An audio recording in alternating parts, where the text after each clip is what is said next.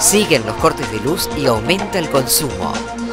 A la alerta naranja por las altas temperaturas se suma en las últimas horas el mal humor de los vecinos de la ciudad y el conurbano por los cortes de energía en distintos barrios. Las empresas Edenor, Edesur y Edelap aseguran que se trata de casos puntuales que están siendo atendidos. Ayer el Sistema Energético Nacional alcanzó otro récord de consumo diario al totalizar los 455,7 gigavatios por hora.